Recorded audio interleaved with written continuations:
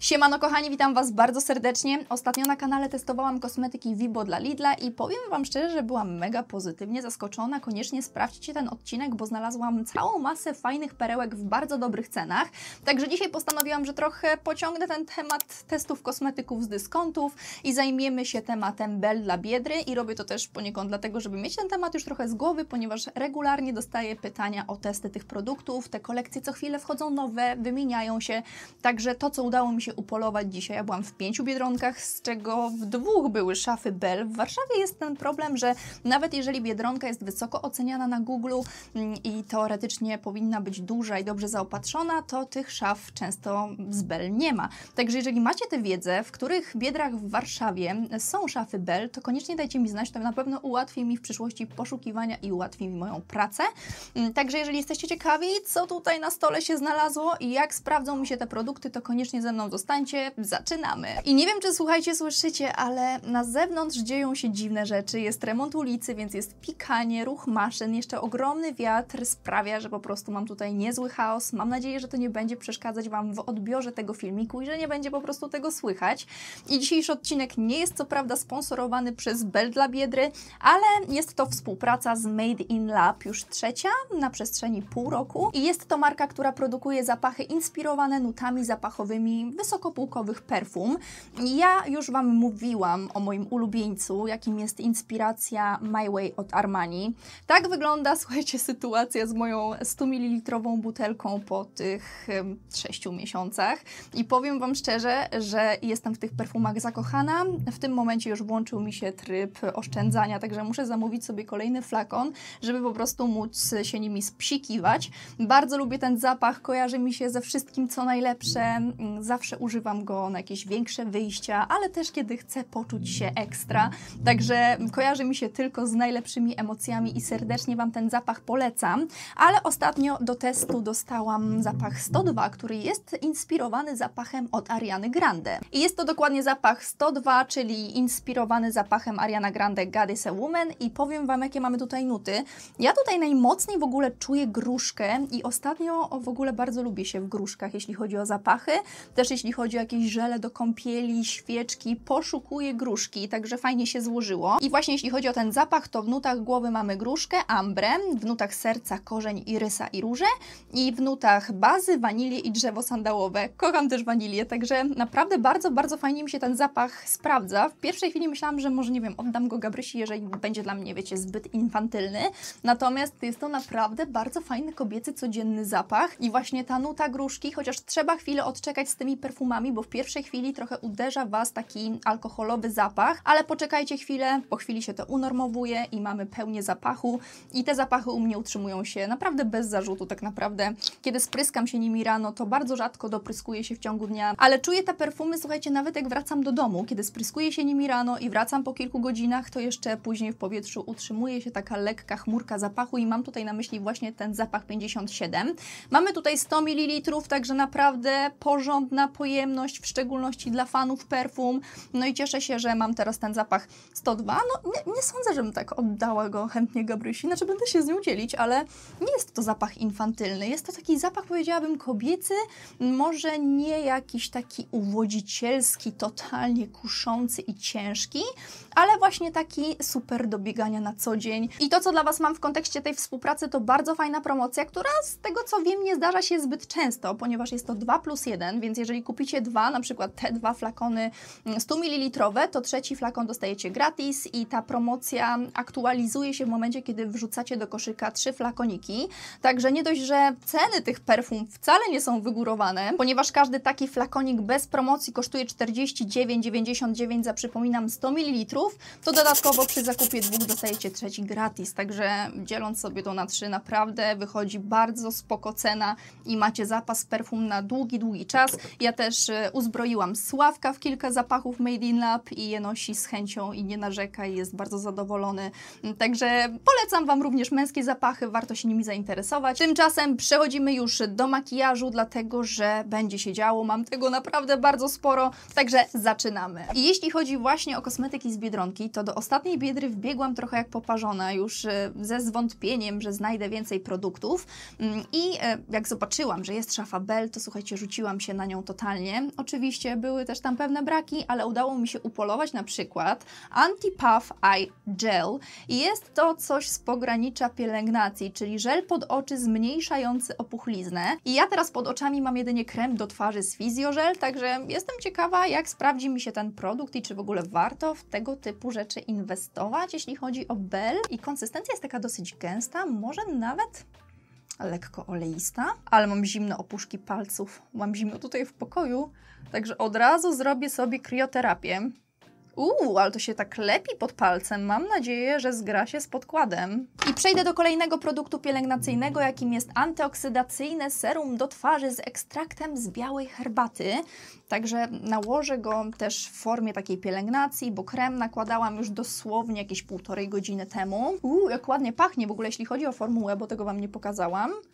To jest taka lekko żelowa, nie ma w sobie silikonowego wykończenia, także to mi się podoba, jest lekko lepka i całkiem przyjemnie na twarzy się rozkłada, także mm, może coś z tego będzie, ale przejdźmy do bazy, bo bazę też kupiłam i mam tutaj Prep and Prime, dokładnie Beauty Express, jest to upiększająca baza pod makijaż z ekstraktem z alg morskich, no i zobaczymy, czy ona coś zmieni i czy przedłuży trwałość makijażu, myślę, że nałożę ją jedynie na połowę mojej twarzy, czyli powiedzmy na lewą połówkę. Jeśli chodzi o jej właściwości, to jest raczej nawilżająca. Może też, wiecie co, delikatnie wygładzać, bo i wykończeniem i konsystencją przypomina mi od razu tę pierwszą bazę z Fenty Beauty delikatnie wygładzającą. I czas już przejść do prawilnej kolorówki, ale zanim o tym, to zobaczcie, co ten żel zrobił mi z przestrzenią pod oczami. Jest taka strasznie zasuszona i wszystkie linie mimiczne są turbo podkreślone. Widzicie to? Ja po prostu czuję się tak turbo sucho pod okiem. No, nie podoba mi się to. Ale okej, okay, sprawdźmy jak będzie na tym leżał i korektor i krem BB, który mam do przetestowania. A jeśli chodzi o krem BB, to jest to K-Skin w kolorze 01 Porcelain. Ma mieć podobno w składzie białą herbatę. No ma w sobie trochę takiego żółtawego podtonu i w ogóle mam wrażenie, że muszę go wymieszać na grzbiecie dłoni, bo w pierwszej chwili był taki jakby trochę nierozmieszany i te pigmenty troszeczkę się odcinały. No i chyba też niestety ciemnieje ale gęścioch powiem Wam. Raczej chyba nie ma żadnego też SPF-u, jak to zwykle bywa w kremach BB, one jednak zawsze mają chociażby SPF 20. Tutaj nie ma takiej informacji, więc podejrzewam, że SPF nie został dodany.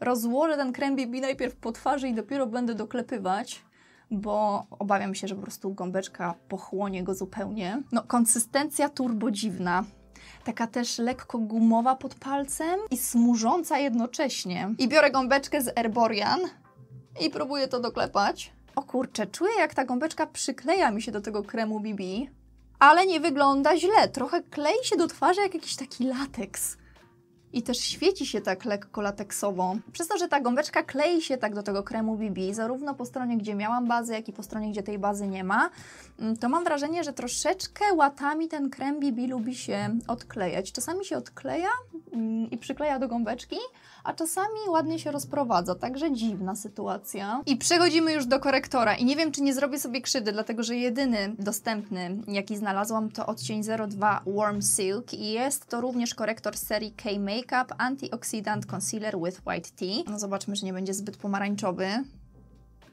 Uuu, nie, powinien się fajnie zgrać. No może jest ciut za ciepły może delikatnie za ciemny, ale ogram to. W ogóle przestrzeń pod oczami wygląda fatalnie. Zobaczcie, dramat się tutaj dzieje. I ja też czuję taką turbo suchość pod oczami. Wiecie co, od razu skorzystam z tego korektora w postaci bazy, więc nakładam go też na powieki. No i ogólnie korektor jest ok, ale to co dzieje się pod moimi oczami, to jest plus 10 lat w 10 sekund. No i niestety korektor nie chce się ładnie rozkładać na tym produkcie pod oczy. I no wygląda nie dość, że sucho, to jeszcze pozbierał się, porobił takie jakby suche placki i nie sądzę, żeby to była wina stricte korektora, tylko właśnie tego produktu, który nałożyłam wcześniej. W sumie mogłam nałożyć pod tylko jedno oko, ale naprawdę spodziewałam się czegoś takiego, wiecie, lejtowego, nawilżającego, więc mówię, ach, tam pielęgnacja, nałożę pod jedno i pod drugie. Ach, nie wiem, czy Wy to widzicie, ale po prostu powstało mi takie bagno tutaj pod oczami, taki suchy wiór, który się przykleił i tak jakby pozbierał. Nie wiem, postaram się to klepać to opuszkiem palca, może to coś pomoże, wiecie, ciepło dłoni, chociaż mam ręce jak trup. Dobra, słuchajcie, już to tak zostawię, ale trochę humor mi się zepsuł przez ten żel pod oczy, dlatego że już czuję, że po prostu przez cały dzień będę się gapiła na te zmarszczki mimiczne, bo wiem, że one normalnie aż tak nie wyglądają. Przejdźmy do kolejnego produktu. Słyszałam, że podobno są w sprzedaży też jakieś sticky konturujące. Niestety nie udało mi się na nie wpaść, ale za to udało mi się wpaść na Glow Express Highlighter i to jest kremowy rozświetlacz do twarzy w sztywcie. Także zaaplikuję go sobie na szczyty kości jarzmowych przed przypudrowaniem twarzy. O, i on ma taki, powiedziałabym, fajny, brzoskwiniowo-złoty odcień. Także od razu aplikuję go bezpośrednio na policzki. Delikatnie to teraz wklepię jeszcze gąbeczką, bo niestety sztyft jest dość mocno zbity, także pozostawił mi lekkie smugi, ale błyszczy się ładnie i myślę, że w takich optymalnych warunkach, gdybym miała na twarzy sprawdzony podkład, korektor, nie miałabym na twarzy tej pielęgnacji pod oczy, to wyglądałoby to jeszcze lepiej. Przejdźmy już do pudru, chociaż boję się trochę go aplikować, w szczególności na przestrzeń pod oczami, ale musimy przez to przebrnąć wspólnie. Mam tutaj K-Makeup Rice Loose Powder, sypki puder ryżowy, czy to mi się nada pod oczy. Nałożę go najpierw na całą twarz i ewentualnie może jednak pod oczy nałożę puder dedykowany przestrzeni pod oczami. Nie wiem, mam tutaj pod ręką Claresę i prawdopodobnie będę się nią wspierać. Opakowanie pudru bardzo urocze, nie wygląda aż tak tandetnie, chociaż zwykle mówicie, że kosmetyki Bell w Biedronce w szczególności są takie właśnie mega tanie i niezbyt Wam się podobają, no ale coś za coś, albo słuchajcie, niska cena, albo piękne opakowania, także tutaj akurat uważam, że jakość, cena i opakowanie idą ze sobą w parze i całkiem fajnie to wygląda. Puder jest jednak dosyć żółty, to jest numer niby 01 Nude Silk, więc powinien być, podejrzewam, jakiś taki, wiecie, jasny bądź transparentny. No zobaczmy. Wiecie, jak on się zachowuje, jeśli chodzi o kolor? Trochę jak Mio Holy Puff, czyli to nie jest puder totalnie transparentny. Ma beżowy podton, ale całe szczęście nie zarzuca i raczej jakoś mocno mnie nie przyciemnia. Bardzo drobniutko zmielony i akurat fajnie też wypełnia mi wszelkie pory teraz i je wygładza. A może jednak trochę przyciemnia, bo im większą partię twarzy nim pokrywam, tym bardziej mam wrażenie, że robi się pomarańczowa.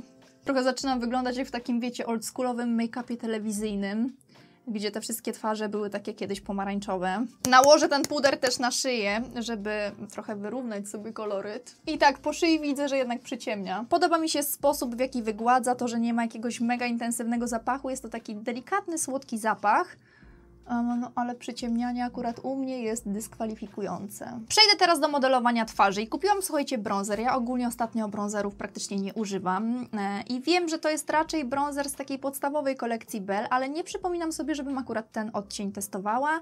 Zwykle testowałam jakieś paletki z bronzerami albo bronzery limitowane, a tutaj mamy bronzer do konturowania mm, i to jest kolor 01 Sculpting Tool, także mam nadzieję, że nie będę jeszcze bardziej pomarańczowa po jego użyciu. Kolor ma całkiem taki użytkowy, przynajmniej na pierwszy pierwszy rzut oka. Uuu, ale go tutaj sobie nawaliłam. Trochę za dużo, bo nie jest taki super podatny na rozcieranie, także od razu używam gąbeczki, żeby go troszkę zdjąć. Też wziąłam taki turbo zbity pędzel, muszę uważać. W ogóle zobaczcie, jak wygląda moja ręka w porównaniu z twarzą. Twarz wygląda przy niej turbo pomarańczowo.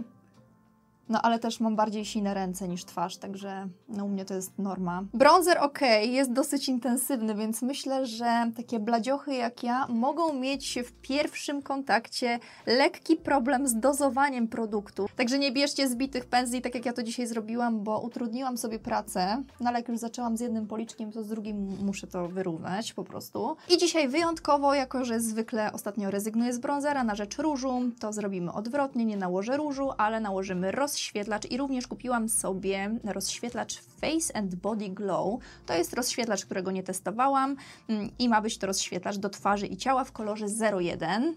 Jeszcze go nawet nie rozpakowałam, także zobaczymy. Wszystkie były zabezpieczone, także nawet nie wiem jak wygląda. Uuu, w środku mamy do czynienia z czymś bardzo ciekawie wyglądającym, także no już się nie mogę doczekać, aż go zaaplikuję. Ma lekko różowy podton, także akurat mi to gra. I również nałożę go trochę większym pędzelkiem, dlatego że już na mojej twarzy jest blask z tego sticku, który aplikowałam na początku, więc teraz tylko delikatnie podbiję ten blask i chciałabym to zrobić tak trochę bardziej globalnie. Uuu, powiem Wam, że ma taki bardzo chłodny, wręcz lekko siny podton, trochę podobny do tego rozświetlacza Vibo Your Gorgeous z kolekcji dla Lidla, e, tyle, że ten jest jaśniejszy i trochę jeszcze bardziej wygląda jak zbroja. Może jakbym miała na policzkach jakiś taki chłodniutki róż, wiecie, taki baby pink, coś w tym stylu, w takim kolorze, to w połączeniu z tym rozświetlaczem wyglądałoby to fajnie, ale tak solo z bronzerem wygląda to bardzo, bardzo sino i zaczyna się też brzydko odcinać, więc tak trochę się zastanawiam, czy nie złamać swoich zasad dzisiejszych i nie nałożyć tutaj, wiecie, różu z zewnątrz. Dobra, kochani, jednak nałożę odrobinę różu. Tutaj mam akurat pod ręką paletkę Sinsei, bo nie mogę patrzeć na ten przeskok pomiędzy bronzerem a rozświetlaczem. Ten przeskok tonalny jest po prostu zbyt duży. No ale rozświetlacz Bell nie podoba mi się, bo wygląda ciężko na policzku, po prostu jak zbroja. Słuchajcie, aż się boję się sobie przyjrzeć z bliska i zobaczyć, co się dzieje pod moimi oczami. Dobra, myślę, że to względnie wyprowadziłam na prostą, także zbliżę Was teraz do siebie i przechodzimy do makijażu oczu. I do przetestowania mam dwa przeurocze pigmenty. Celowo wzięłam dwa kolory, dlatego że nie potrafiłam się zdecydować na jeden i mam tutaj odcień 01 Unicorn Dust oraz 02 Champagne Beige. Także jeden nałożę na jedno oko, drugi na drugie i zobaczymy, z czym mamy do czynienia. Z tego co pamiętam, pigmenty Bell są naprawdę fajne, niektórych używałam nawet z powodzeniem przez dłuższą chwilę, także mam dobre wspomnienia. I tak prezentuje się kolor 01, czyli Unicorn Dust. Jest taki dosyć jasny, ale ma w sobie zarówno drobinki fioletu, jak również różu, złota, Także wklepuję go bezpośrednio na ten korektor. Uuu, jest drobniutko zmielony. Bardzo ładnie, tak sympatycznie błyszczy. Tak codziennie i bez żadnego podbicia NYX Glitter Primerem, także naprawdę spoko. Z drugiej strony od razu nałożę ten bardziej brzoskwiniowy, czyli champagne coś tam. Champagne beige. Mniej wielowymiarowy, raczej myślę, że będzie miał więcej pigmentów w sobie, mniej opalizowania. Uuu, ale on błyszczy się mocniej. Tak, chyba ten champagne beige bardziej do mnie przemawia. W szczególności jeżeli chcecie efektu wow przy niskim nakładzie pracy. Delikatnie podocieram te pigmenty na granicach. Zaraz przejdziemy do cieni prasowanych, natomiast nie mam nic z Bell, więc skorzystam z paletki, myślę, Huda Beauty, którą ostatnio testowałam. I dzisiaj postawię na tę cieplejszą, matową wersję, dlatego, że też usta będę miała cieplejsze dzisiaj, mm, ale skorzystam z kolei z najchłodniejszego cienia w palecie. I zacznę budować sobie załamanie powieki. Tutaj do tego champagne beige ten kolor będzie bardziej pasował, ale mi się, słuchajcie, świeci ten policzek. Niezbyt nowocześnie to wygląda. Ten sam cień nałożę od razu też na dolnej powiece i za chwilę przejdziemy do brązowej kredki, którą obrysuję sobie oko dookoła. A co do kredki, to kupiłam coś takiego, brązową kredkę żelową, bardzo fajnie zapakowaną, zabezpieczoną. Nie wszystkie produkty Bell były dobrze zabezpieczone. I tą brązową kredką, tak jak Wam powiedziałam, obrysuję sobie oko najpierw linię wodną na górze i na dole. Ona nie chce malować tak, wiecie, w 100% po jednym pociągnięciu. Trzeba kilka razy mm, po tej linii wodnej zaorać. Także jeżeli macie wrażliwe oczy, to nie sądzę, żeby Wam się sprawdziła. I nie jest wcale taka wyrazista w kolorze, jakbym tego oczekiwała. Ostatnio testowałam żelową kredkę z Huda Beauty. Ja wiem, że zupełnie inna półka cenowa, ale tamten pigment był po prostu idealny już od pierwszej chwili, a tutaj no jest biednie a wiemy, że żelowe kredki nie muszą kosztować milionów monet, żeby były dobre. Dobra, moi drodzy, ta kredka z Bell jest na tyle delikatna, że w międzyczasie zrobiłam drugie oko, ale też od razu zaczęłam wzmacniać tę kredkę i jakby podbijać jej intensywność skośnym pędzelkiem i najciemniejszym brązem z paletki chudy. Setuję tak też samą linię wodną. Cieniowanie skończone, ale doklepię sobie jeszcze te pigmenty na samej górze żeby powrócił ten blask. I ogólnie nie podoba mi się intensywność tej brązowej kredki, bo nadal widzę prześwity na linii wodnej. I trochę Wam się przyznam, że żałuję, że nie nałożyłam tych cieni na bazę, bo tak zaufałam temu korektorowi, bo często tak mam, że w ciągu dnia po prostu, kiedy szybko się muszę pomalować i wyjść z domu, to nawet nie idę po bazę, tylko korzystam z korektora, ale na tym korektorze nie maluje mi się zbyt dobrze, w szczególności jeśli chodzi o cieniowanie tutaj na zewnątrz, także może być ciut plamiście, chociaż starałam się robić co mogę i też zmarnowałam przez to więcej czasu, bo mogłam po prostu nałożyć bazę z Inglota i mieć z bańki. I wracam do Was już z doklejonymi rzęsami. To są rzęsy z Hebe, takie podzielone na zewnętrzną i wewnętrzną część. E, I to co ważne, nagrywałam na ich temat rolkę, także na pewno namierzycie ten model konkretny, bo niestety nie wiem jak się nazywał, wyrzuciłam już opakowanie. W każdym razie od razu makijaż wygląda lepiej, także przejdziemy do ust. I w ogóle nie chcę nic mówić, ale buzia świeci mi się w tym momencie jak latarnia, a nawet nie skończyłam nagrywać. Dodatkowo mam naprawdę taki trochę Donald Trump vibe na twarzy e, i czuję się pomarańczowo, także no kurczę, naprawdę miałam nadzieję, że ten test wypadnie lepiej, bo zwykle kosmetyki Bell fajnie mi się sprawdzają, a dzisiaj doszło do jakiegoś takiego dziwnego połączenia, że wyglądam po prostu jakbym robiła makijaż bublami. Jeśli chodzi o usta, to trochę przełamiemy schemat, dlatego że nie kupiłam żadnej pomadki z Bell, dlatego że w tych szafach były tylko takie, wiecie, z jakichś tradycyjnych kolekcji, które już wałkowałam milion razy, nie było tam ciekawych kolorów, także użyję sobie nowego odcienia pomadki Maybelline Vinyl Ink i tutaj mam akurat odcień 125 Kin, taki piękny vintage brąz. Jestem zakochana w tym odcieniu i pokażę Wam, jak wygląda na ustach. I też nakręciłam ostatnio rolkę na Instagram ze wszystkimi nowymi odcieniami dostępnymi na Kokolita, ale widziałam też, że na Notino są jeszcze inne dostępne kolory, także na pewno również je zamówię. Pomadka nałożona, za chwilę powiem o niej troszkę więcej, bo pojawiły się pewne komentarze i chciałabym to z Wami zweryfikować, ale pozwólcie, że najpierw się dopudruję, bo za moment wychodzę do ludzi i nie chcę wyglądać jakbym była w tym makijażu, wiecie, już drugą dobę. Okropnie się wyświeciłam, no po prostu szok. A a propos właśnie pomadki Maybelline Vinyl Ink, to pojawiły się komentarze pod moją ostatnią rolką, gdzie je testowałam i pokazywałam Wam różne odcienie, że niektórzy mają problem z tym, że ta pomadka nie jest wcale mocno napigmentowana. Mm, I ja zadawałam pytania, czy pamiętacie o tym, żeby wstrząsać tą pomadką, bo ona faktycznie nie wstrząśnięta ma słabszy pigment, ale pojawiały się głosy, że tak, oczywiście. Mm, I słuchajcie, wydaje mi się, że po prostu nie wszystkie partie są wyrównane, że możecie trafić po prostu na słabiej napigmentowaną pomadkę. Może to jest kwestia też tego, że na przykład kupicie jakąś starszą, już przeleżaną pomadkę, która leżała w drogerii, wiecie, pół roku, mm, przez co te pigmenty osadziły się gdzieś na dole i ta pigmentacja nie jest tak wystarczająco dobra i na tyle też, wiecie, mocna, co w standardowych pomadkach Vinyl Ink. Może być taki problem, chociaż ogólnie moim zdaniem ta pomadka nie ma stuprocentowego pigmentu po jednym swajpnięciu po ustach, ponieważ kiedy ja ją nakładam, to muszę nałożyć taką jedną grubą, solidną warstwę, żeby mieć pełne krycie.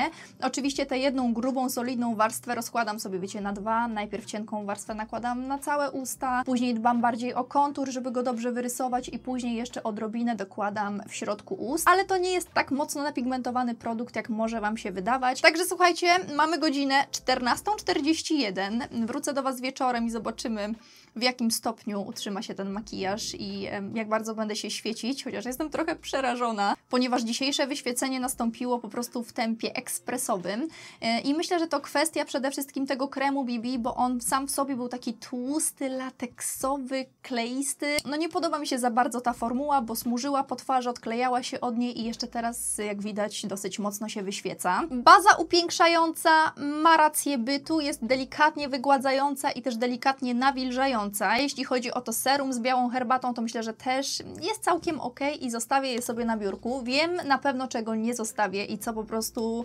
zostanie zutylizowane przeze mnie, bo nawet nie wyobrażam sobie podarować tego komuś. I mam tutaj na myśli oczywiście ten żelowy produkt pod oczy, który miał redukować zasinienia, opuchliznę, a jedyne co zrobił to okrutnie zasuszył mi przestrzeń pod oczami do tego stopnia, że ja nawet tam nie nakładałam ostatecznie pudru mm, i jedyne co zostało przypudrowane to jakby z racji tego, że aplikowałam też suche, matowe cienie, no to właśnie cieniem udało mi się przypudrować przestrzeń pod okiem i też to cieniowanie jest dosyć takie niskie, żeby przykryć te wszelkie moje załamania i mankamenty, które wyszły dzisiaj po zaaplikowaniu tego produktu. Masakra, nie polecam. Korektor myślę, że ma rację bytu, ma dosyć subtelne krycie. Powiedziałabym, że Bell niejednokrotnie robiło to lepiej, natomiast nie jest zły, może do takiego szybkiego makijażu mógłby się sprawdzić. No nie trafiłam z kolorem, bo jedyny dostępny to był 02, podejrzewam, że u mnie lepiej sprawdziłby się 01 no ale już też sam fakt, że nakładałam go na ten żelowy produkt pod oczy sprawia, że miał trudniej, a ostatecznie nie wygląda aż tak bardzo źle. No oprócz tego, że widoczne są wszelkie załamania i trochę to wygląda gruzowato, w szczególności w zewnętrznej części moich oczu. No ale niestety nic z tym już dzisiaj nie zrobię, więc tak to musi zostać. Jeśli chodzi o konturowanie, rozświetlacz, kontur ok, ale nie do zbitych pędzli. Zostawiam na biurku, bo myślę, że taki, wiecie, szybki bronzer do modelowania, który nie ociepla, będzie mi się od czasu do czasu sprawdzał. Chociażby, wiecie, do szybkiego wymodelowania nosa, nawet nie muszę nakładać go na policzki, ale żeby nos nie był taki turboblady, to czasami lubię sobie delikatnie go podmodelować. Jeśli chodzi o rozświetlacz, dla mnie zbroja. Dla mnie produkt nie do zaakceptowania, jeśli chodzi o to odbijanie światła. Wygląda to po prostu staro, brzydko i niemodnie. Także do tego rozświetlacza z pewnością nie będę wracać. Jeśli chodzi o pigmenty, no to tutaj Bell zawsze robi dobrą robotę i w tym przypadku jest tak samo. Przypomnę, że aplikowałam go bezpośrednio na korektor, nawet nie na bazę, także dały z siebie co mogły. Myślę, że takie 100% błysku oddałyby z siebie w momencie, kiedy aplikowałabym je chociażby na Inglota, bazę z Inglota, albo no, na Next Glitter Primer to na pewno, ale w tym przypadku również jestem ostatecznie zadowolona. A jeśli chodzi o żelową kredkę, to jest to pewne rozczarowanie, bo myślałam, że na niej będę dzisiaj bazować, ale ma niestety nierównomierny pigment, konsystencja jest nie do końca taka jak lubię, bo właśnie lubi się tak woskować, ciastkować na linii wodnej i być taka właśnie nierównomierna, także musiałam bardzo mocno pomóc sobie cieniem z chuda i tak nie jest perfekcyjnie i idealnie, także no była fajnie zapakowana, wszystko zapowiadało się ok, ale niestety w tym przypadku nie wypał. Także to tyle moi drodzy na ten moment. Spotkamy się wieczorem na ostatecznym podsumowaniu trwałości, także do zobaczenia. Ok, kochani, pora do Was wrócić na ostateczne podsumowanie trwałości. Jest godzina 22.24. Jedyne co poprawiłam w ciągu dnia to usta, bo jadłam pizzę i trochę się powyjadała, no bo to jest pomadka, która się transferuje i która się wyjada. W każdym razie, jeśli chodzi o makijaż twarzy, to powiem Wam, że naprawdę już dawno się tak staro nie czułam. I za każdym razem i w windzie, i też po prostu przy każdym jednym lustrze spoglądając na siebie i widząc te moje zmarchy pod oczami, aż zaczęłam się zastanawiać nad jakąś chirurgią plastyczną. Także no to jest przerażające, co się zadziało dzisiaj pod moimi oczami. Rozlała mi się też kredka brązowa w wewnętrznych kącikach. W ogóle mm, czuję, że moje oczy są podrażnione, że są mega suche w okolicy pod oczami, mm, że oko wręcz łzawi mi w zewnętrznych kącikach, żeby jakby się lekko nawilżyć.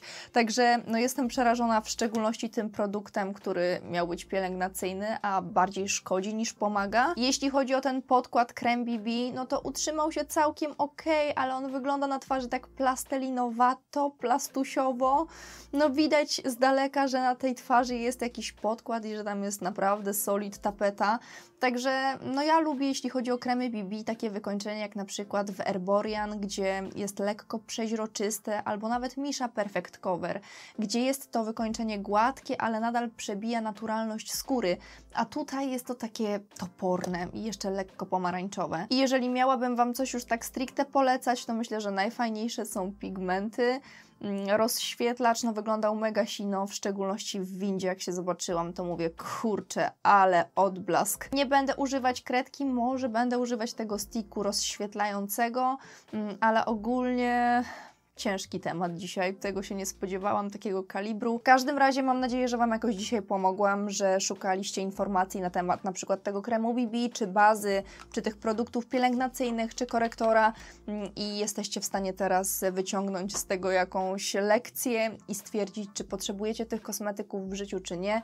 Do bazy możliwe, że będę wracać, ewentualnie do tego serum też, ale na pewno nie użyję już nigdy w życiu tego produktu pod oczy, bo po prostu czuję, jak bardzo suchą mam tam skórę, jak ona piszczy z bólu i z suchości, że teraz naprawdę pragnę już tylko zmyć makijaż i to nawet nie płynem micelarnym, tylko wiecie, olejkiem, żeby po prostu jeszcze bardziej tej skóry nie podrażniać, nie wysuszać mm, i nałożyć bardzo, bardzo, bardzo grubą warstwę kremu. Także żegnam się z Wami, ściskam Was bardzo serdecznie, dajcie mi znać, jakie są Wasze doświadczenia z tymi konkretnie produktami, czy takie jak u mnie, czy może zgoła inne.